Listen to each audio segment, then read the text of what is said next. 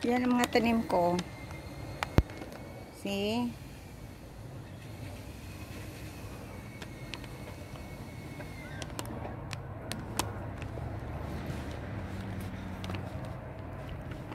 Nawawala na yung, yung ano, bulaklak. Ito na oh, ang napalit oh. See? Mga ano na. May bunga na siya. Oh.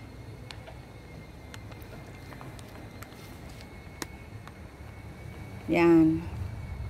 See? Yung aking mga tanim. Ang taas. Ngayon lang taon ito tumaas. Nataas pala ito. My goodness. Grabe, oh. Hindi ko akalain, nataas pala ito.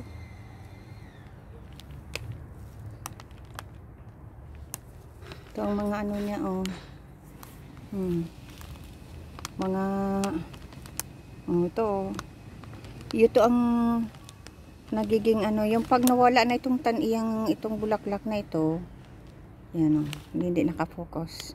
Pag nawala na yung bulaklak na yan, nahuhulog na, ito na ang napalit, oh. See? Oh. Nasaan yan? Ito. Ito, oh. See? Nawawala. Oh, yan. Oh, yan. Yan ang mga bilog-bilog na yan. Parang money tree ang tawag. Oh, see? Yan ang aking mga tanim. Oh, yan. Naputi yan. Pag puti na, ready na yan itanim ulit para next year. Pero meron na ako, oh, see? Nandyan, oh, mga baby pa sila. Pero next year, na summer, sila nang papalit. Ito kasi pag nagbunga na ito at kinuha mo na yung mga buto-butong ito o mga bunga ito kasi nap naputi yan eh. Pag puti na, ready na silang kunin. Ready na silang itanim mo. Yan.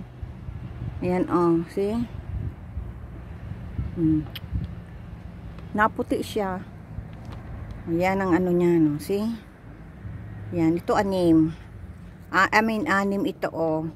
Ito ilan ang laman niyan? Pito. Oh, see? Nag, ano, hahangin kasi. Hindi masyadong nakafocus. Yan. Hmm. Marami naman akong tatanim. Nagtaas talaga siya, oh. See? Marami, oh.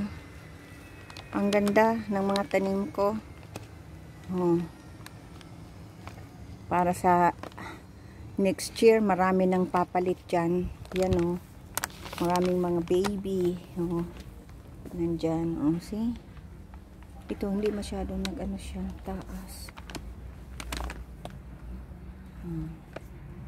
meron din ako mga bulaklak na yung mga malilito see? May mga pink. Yan.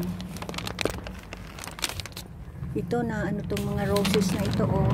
Mabunga pa lang siya mabulaklak I mean. Oh ito oh see? Maliliit na mga ano oh see? Mga pink din ang ganda.